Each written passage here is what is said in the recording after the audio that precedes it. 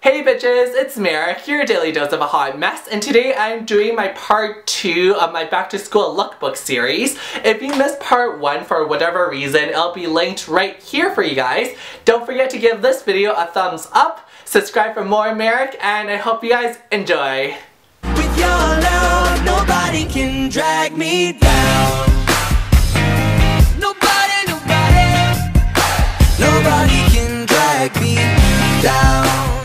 Alrighty, I decided to style my first outfit around the colors black and white. I am loving the high contrast trend right now, and another trend I love is oversized t-shirts. This is slightly embarrassing, but my t-shirt is the Kirkland brand from Costco. The black skinny jeans are DIY'd, and to pull everything all together, I have on some Nike fuckboy sneakers.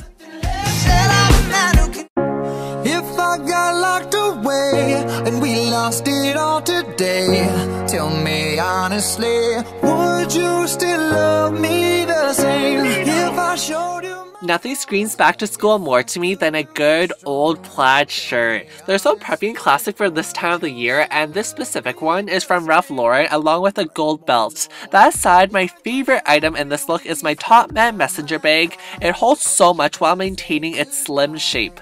Watches are a must-have. I definitely splurged a bit because I bought myself a Seiko watch to celebrate the occasion along with some genuine leather bass shoes.